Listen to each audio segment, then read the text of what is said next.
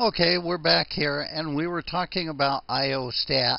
Before we leave the earlier commands, I should mention that if you find SAR a little bit intimidating and hard to use, um, yes, it is. Uh, SAR is really the the the big, powerful monitoring tool, but it is hard to use. Um, most of us primarily use something like TOP and resort to SAR when we really need a more powerful tool, and that, that's the only time we use SAR. Um, so don't feel bad if SAR strikes you as a little bit overkill and confusing.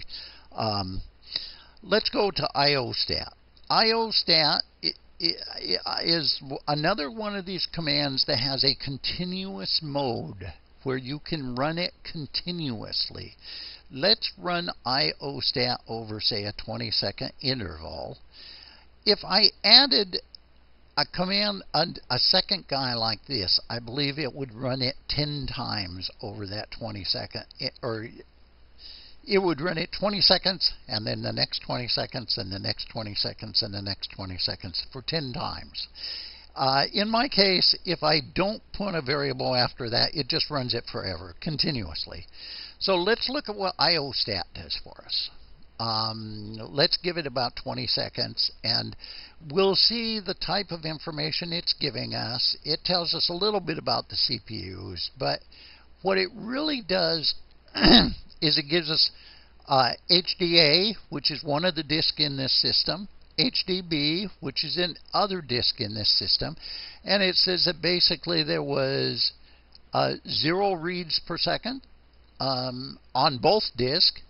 Zero, well, and there were some writes on HDB. HDB happens to be where the Linux disk is, so maybe I swapped some data down to that disk. Maybe the system wrote to a temp file. Who knows? Um, let's, but if you watch this, this is going to remain pretty constant at that. HDA is pretty much unused. Let's look at what's on my disk here. I notice that the HDA disk is mostly uh, Windows data. So let's go over here and let's run a command.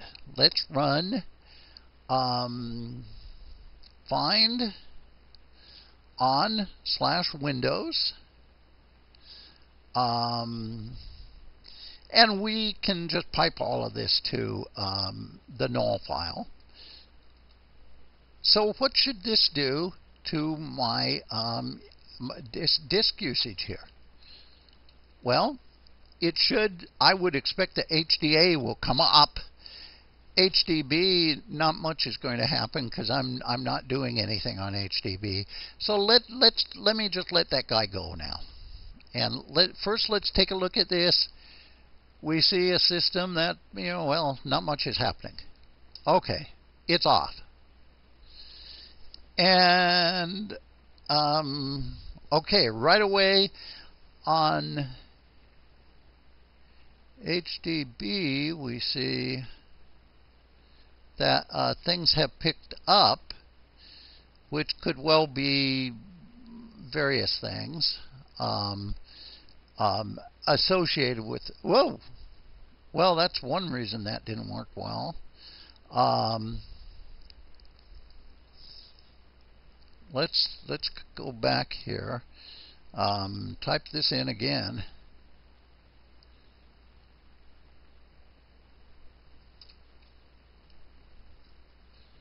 Minus name.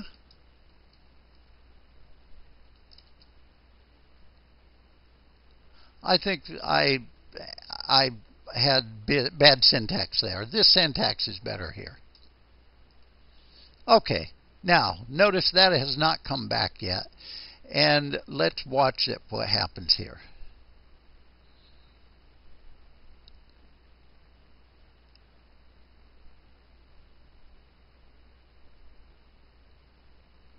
When you're just waiting here, 20 seconds can be a long time.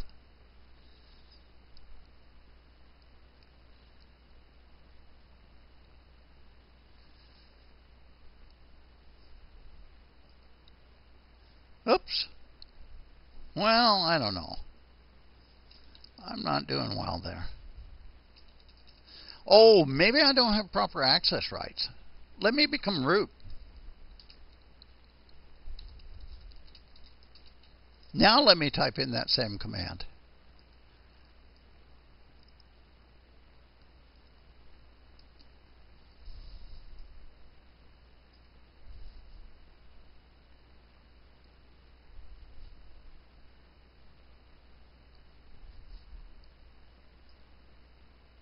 No.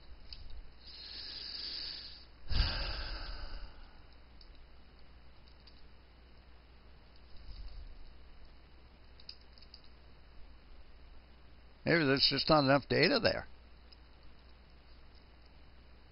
Okay, now we're starting to see things pick up.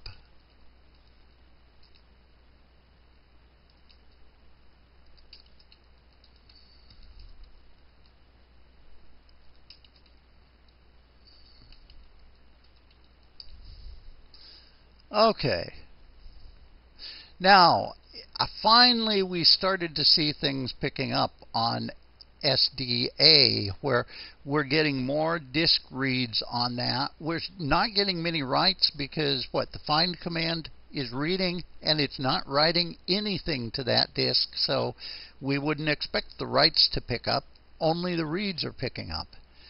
And that job is done. So basically, we saw it pick up for a couple sessions, and that was about it. Um, um, that's fine. Uh, that makes the point. So let's um, kill that. Let's go back and see what we've got for other um, other commands. It says we're out of time, so we'll um, end here. And pick up again with a little short bit.